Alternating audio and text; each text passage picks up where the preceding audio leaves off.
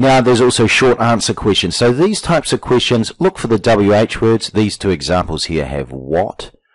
Um, also consider, yeah, other synonyms that might be happening, including this apart from, not just main words. Sometimes these words they may use as well.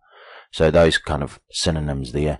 ISDN down here, that's a technical term. There's going to be no synonym for that. So I would be doing question two first. It'll be easier to find that ISDN.